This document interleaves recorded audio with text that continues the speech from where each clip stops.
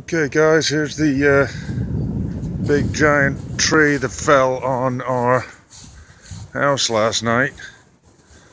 Uh, it's not huge, but it's uh, probably about uh, 40, 40 feet, something like that, know, 30, 40 feet. Clipped the corner of the uh, roof right there. And uh, we had some massive wind last night. You can see where it peeled off that uh, white pine right there.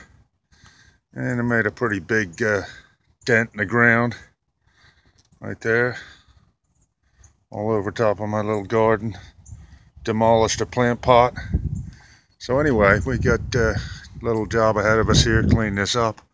Should take a little bit of time now. I used to use chainsaws and stuff like that.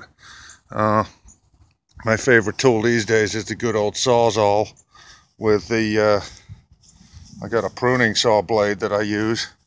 I got a long extension cord back to the house.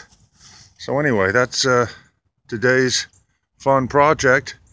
And uh, I'll do some sawing here and then I'll do a little more video and then we'll see what the thing looks like uh, after that. Shouldn't take too long. See ya.